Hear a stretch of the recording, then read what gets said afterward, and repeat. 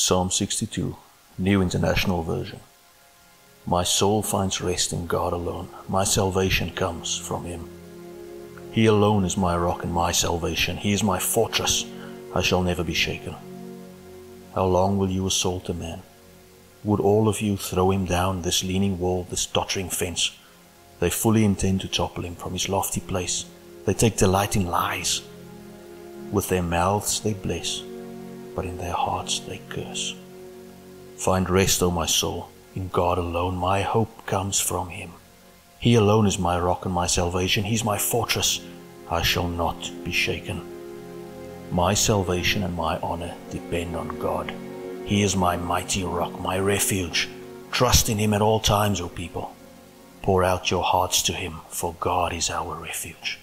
Low-born men are but a breath. The high-born are but a lie.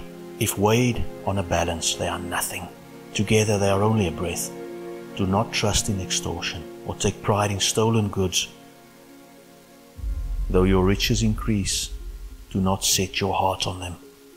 One thing God has spoken, two things have I heard, that you, O God, are strong, and that you, O Lord, are loving. Surely you will reward each person according to what he has done. Psalm 62, New International Version.